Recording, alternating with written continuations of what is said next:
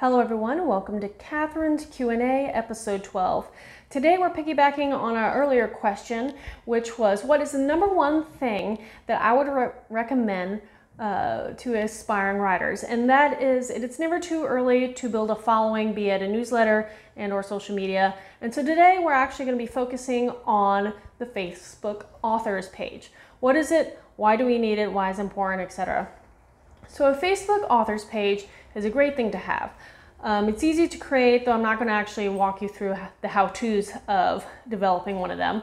But it's a wonderful place to gather all your followers and fans into one small section and um, uh, allow them to easily find out information about you, your works, all kind of other cool things why have a Facebook page and not just use your personal page? Well, think about this.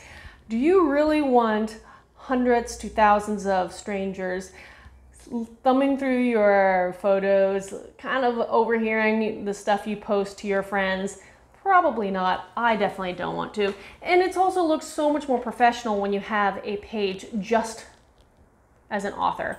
So I do recommend starting to kind of look into them. Some of the stuff you can do, I mean, there's so many things you can actually do from um, creating polls and Q and A's and um, developing a dialogue with your followers in many ways. If you already have books, it's a great place to upload photos of your book covers and you can put your buy links with them so it's easy for people to find. You can create shops.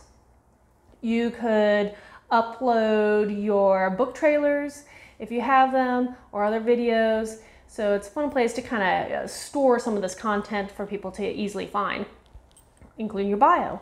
Um, other things you can do, I mean, it is recommendable to post daily content. And that may be super overwhelming for anybody, especially if you don't have a book published right yet. But there's still things you can do. One of the best things that I was advised earlier this year when I was kind of overwhelmed at that concept of trying to figure out how to post every day and write is that uh, come up with a theme per day. So if you have nothing to mention, at least you can post something pertaining to that theme. For instance, maybe Saturday is an animal day. And um, it's a great way to post when it comes to Saturday, you can create a dialogue because you could post something about maybe an image of your pet and say, hey, here's my goofy dog, Allie. Uh, I want to see pictures of your animals if you have a pet, or if not, show me an animal that you wish you would have, etc. So on. And it creates some good dialogue, uh, allow, encourages uh, comments and responses, and that's always really good to have. Um, other things you can think about, you could do a meme day. I mean, everybody kind of sees memes if you're on social media. Collect a few you like and repost them and share them there and you can ask other people to share memes. Again, create this dialogue, but coming up with a theme per day shouldn't be terrifying. And if you have a page, it is also great to know that you can schedule your posts well in advance. So maybe you take one day a month or two and you spend a couple hours sitting down and coming up with the content and arranging the schedule of when and what time these posts are going to be released every day. And then the rest of the time of the month, you can focus what, on what you're writing, because that is the most important thing when you are a writer and or author. So um, utilize that. I've gotten a habit to doing that, and it's making my life so much simpler now that I realized, oh, I can schedule post out. Uh, other things that are kind of cool is when you have a page, you can actually uh, do some advertising on Facebook which again, once you start having books out there, that's a great uh, thing you can utilize. I'm not going to really talk about that today. I'm just mentioning it. Another thing I'm just going to mention, I'll talk more actually next time, is you can funnel people, funnel your followers or your fans from your Facebook page onto your uh, Facebook, your what they some people call readers group, VIP group, fans of groups. Um, usually those groups you want to keep them private so you're in control of who enters and doesn't.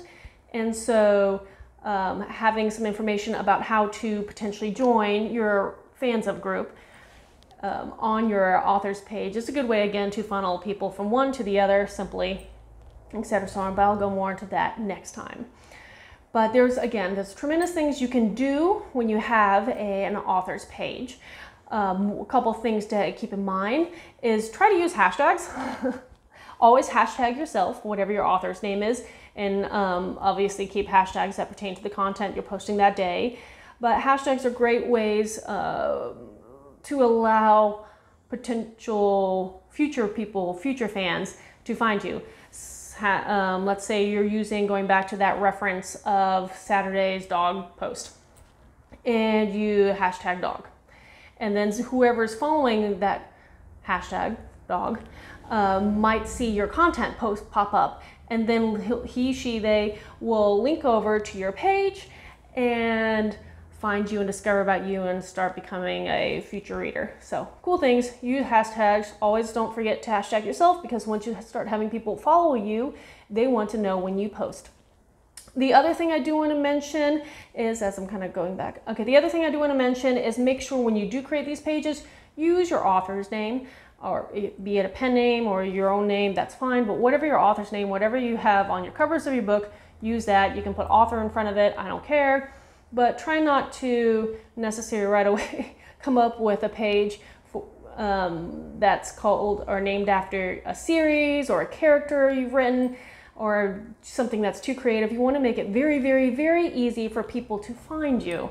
I made that mistake early on. My first page I developed was called the Incarn Saga after my first book series that I was working on at the time. But once I started moving on to other series, I notice all these organic followers and all these other people who are trying to find me or learn about my other books couldn't find me because they were searching uh, the wrong names. So use your author's name, whatever it is, um, as that title.